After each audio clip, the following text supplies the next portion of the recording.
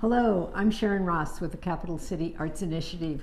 We are here at the Bristlecone Gallery on the Western Nevada College campus and introducing Sidne Teske and her exhibition, A High Desert Tribute.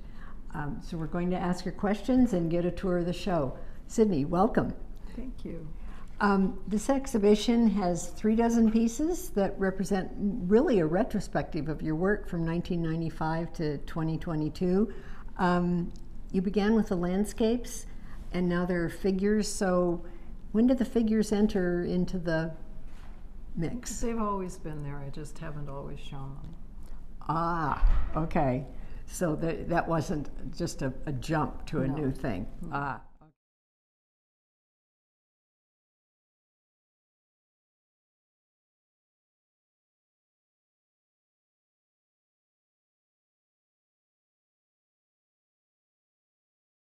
Well, I heard a quote from you that landscapes fascinate me. So, can you talk about where this passion comes from? Uh, no, not really. I've, I've always just loved looking out at the land, and it's never the same from one second to the next. The light changes. You know, if you're moving through space, the the geometry, all the patterns change. It's um, it's just fascinating. You're standing next to a very large landscape. It's the largest one in the show called Dugout. Um, tell us about Dugout. Um, this is a studio piece. It's not a plein air piece.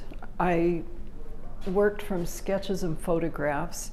It's a place that's 300, 400 yards from my house, just in a, in a gully down below where I live. This little kind of rock structure is an old Chinese dugout from back in the day when Tuscarora was a, an active mining community in the 1860s, early 1870s. And it's collapsing, and it's just a really interesting structure. So, Well, I have always loved um, artists' work with snow. Uh, to my mind, naive mind, snow is white, but uh, I, I love the blue, all the colors that you've added to the snow. well, thank you. You know, snow is reflective. It's it's water, and so it reflects all of the the ambient lights and colors around it. So um, if you held up a sheet of white paper, that you would not see any white in this painting at all. There's no white.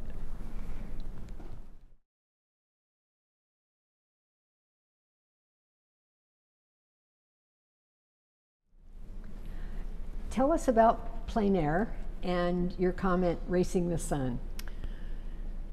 Plein air um, is a French term for being outside in the air, and that's how I prefer to paint most of the time when the weather's good enough. Uh, my medium is dry and doesn't respond well at all to snow or rain or anything like that. Um, so I go out and I just paint what I see in the landscape around me. Oh, and racing the sun. Um, because I'm a plein air painter, I don't have a steady source of light. My light source is the sun, and the sun is always moving. And so when I start to paint, um, I have to be very rapid and take notes throughout the course of the painting because by the time I finish, the sun's in a totally different location, and what I first saw no longer exists. So I'm racing the sun.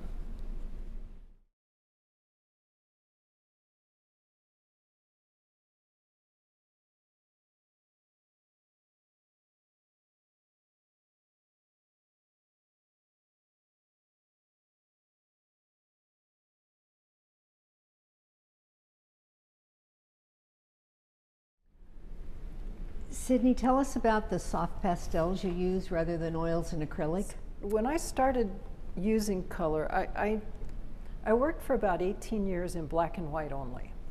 and color terrified me. You know, the, the more you use black and white, the more used to values you get. And then when you look out in the world and you look at color, there's bazillions of them, and it's terrifying. And um, when I moved to Battle Mountain, I wanted to take some art classes. I had never taken any art classes before, and the only class that was offered was by a lady in town who taught oils. And uh, so I started learning about color through her class. And um, then I took a, a correspondence course, watercolor class, um, and I learned more about watercolors. And I liked both watercolor and oil, but um, I'm fairly impatient and uh, because I like to be outdoors. Watercolors don't dry fast enough and oils dry too slowly and pastels are dry already so I fell into pastels and haven't quit.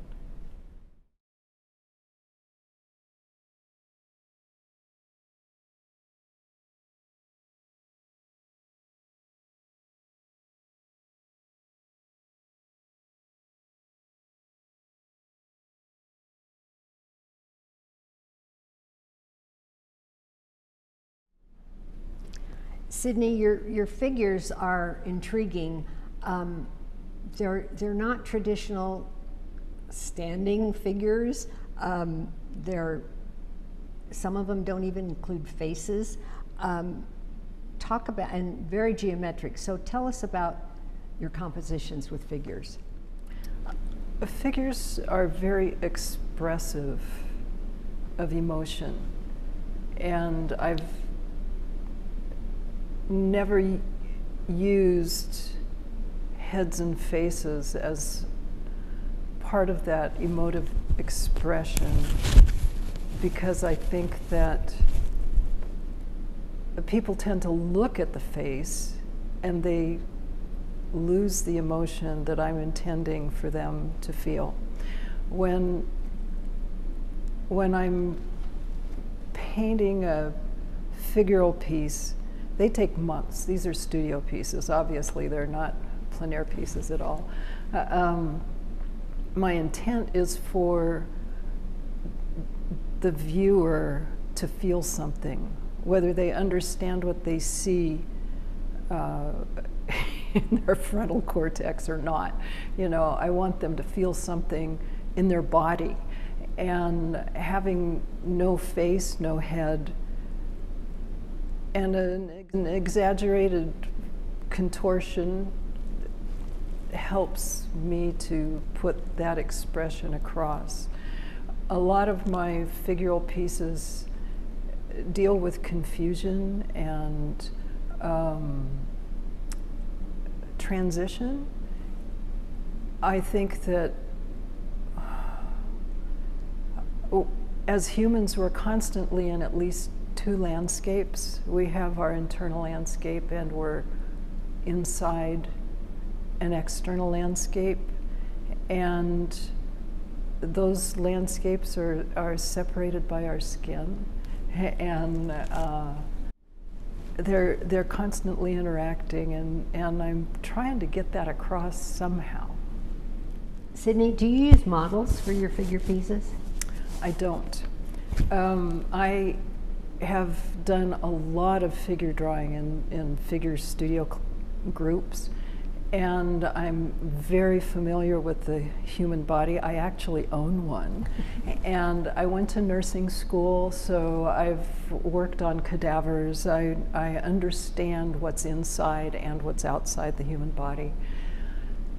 So I don't need a figure in front of me. It's part of what I have already, one of my tools.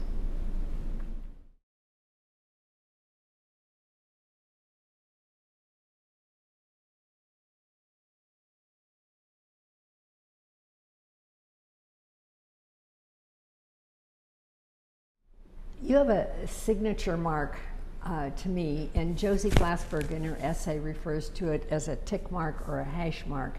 Um, these marks have a great deal of action and motion in them that keeps your paintings moving. So talk about talk about what, how the, you keep these compositions alive. Um, well, like I said earlier, because I'm racing the sun, um, I have to move very quickly. And um, in the background of having to move very quickly is the, the knowledge that my little tiny sticks of pastel are really, really expensive. And being a cheapskate, I have to conserve my materials. Because, you know, I also live a far distance from being able to get them. So on a piece that's like this size, this is three and a half, four hours of work. And so when I lay out my original piece, you know, I, I start with a real quick charcoal sketch. And I keep in mind where my shadows are because they're really the most important. They're sort of the, the glue that holds it all together. And um, so I'll just put a pop of color where I want my shadows and then I'll work in my mid ranges. But because the light's changing all the time, I have to do this very quickly. So I'm constantly just putting a pop of colors here and there all over the paper. And by the time the sun has made sure that everything is gone that I originally saw, the paper is filled with all these really fast marks. well, they're great. They're, oh. they're, they're moving. They're moving. Thank you. Um, can you talk about sandpaper that you're doing your work on and the, and the, under, the underdrawing? Okay. Um, when I first started working with pastels, you know, I don't know anything about this stuff. I didn't go to school. I don't know it. Um, so I had these pastels and I had some paper and, and uh, making the pastel move over the surface of paper was kind of scritchy and I didn't like it. So I started reading, and this was, you know, 45 years ago, 50 years ago, who knows anything, and there was no internet, there was no Google, you couldn't, you had to go to the library and research stuff. And there was no information on pastels, there was no information on paper, and I lived in a community where there were no other artists, so I was totally on my own. And so I started putting grit on paper. I'd go down to the hardware store and I'd buy um, stuff that you put in cement, and I'd glue it on my paper. And I liked how that worked, but it was real rough and it ate up my pastels really fast. And uh, oh, a couple of years after I worked that way, um, a wonderful artist whose name is Wallis. I can't remember her first name. She came out with her own brand of pastel paper, which is wonderful. You can no longer get this stuff because it's also the same stuff that they use for skateboard skins, and there's a bigger market for skateboards than there is for artists. So she's gone over to the dark side, you know. But her paper um, holds pastel so that you can work in layers without smudging it and getting mud. And because I like the look of a mark, but I also want to work deep, I just consistently use a sanded paper. And, and this stuff that I've got here, um, it's almost all 400 grit. Um, but oh, before she came out with her paper, I discovered a German company that sold um,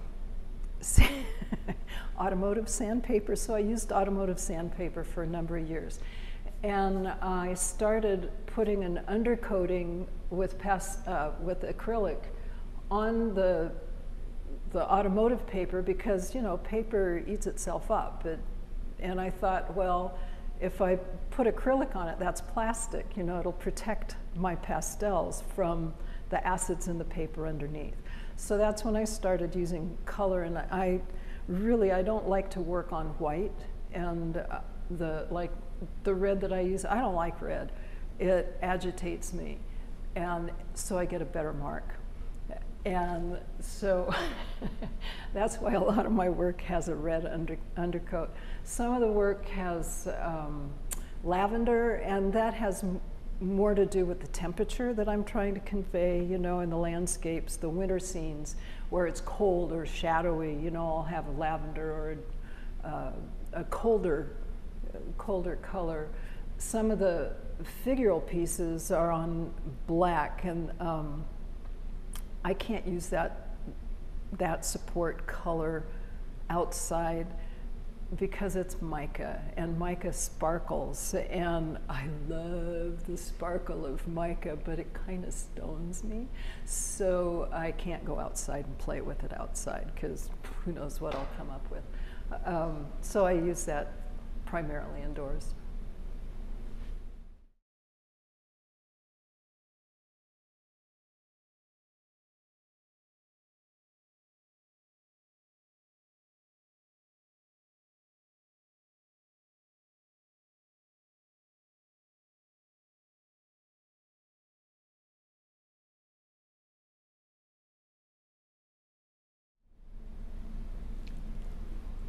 In your landscapes, there's a compositional component that appears frequently, um, your chimney. So tell us about the chimney. It must have been there for a while, so tell us all about the chimney. Well, Tuscarora, which is a place that I paint most frequently because that's where I live, um, is an old mining town established at some point in the 1860s. And the chimney, which is in right there on this piece, um, is the smokestack from the Union Mill, from the Union Mine. And it is mm, 80 to 100 feet tall, and the bricks are falling out, and it's not going to be around forever. You know, it, it, the weather has really taken a toll on it but it's something you can see for miles and it's part of my landscape, so it does appear a lot. So I believe it's in the above the one. Oh yes, it's in this one here too. And these green things that often appear in my work are um, are water tanks for the town.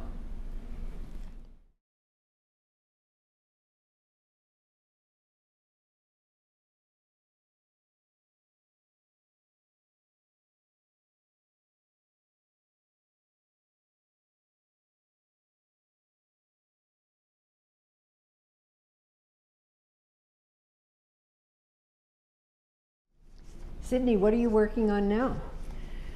Well, I have been, the past month, I've been making books. And um, I'm going on a trip starting next week, and I want to give gifts to the people that we'll be seeing. And so I'm making them sketchbooks. So that takes a, a, you know a fair amount of time. I haven't been able to get out and paint outside, which is actually kind of making me a crazy lady, um, because the weather has been a little bit gnarly, and I just haven't been able to. So you know, I occupy myself with other things, and I also um, am working on some children's books.